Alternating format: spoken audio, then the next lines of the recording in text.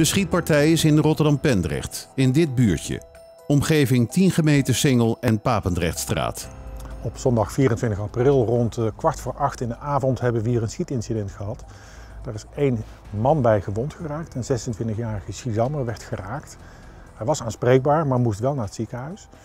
We hebben hier in de buurt sporen gevonden, waaronder een huls hier in de straat. Er is ook een auto geraakt. Nou, die auto die hebben we in beslag genomen voor onderzoek.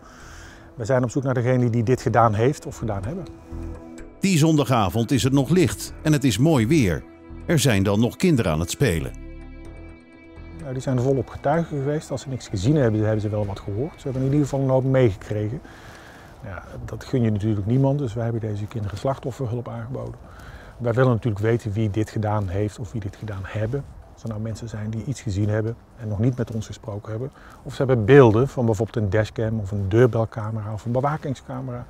Nou, dat is in dit stadium van het onderzoek heel erg nodig om die te krijgen. Dus neem dan alsjeblieft contact met ons op. Bel 0800 6070 of meld misdaad anoniem 0800 7000.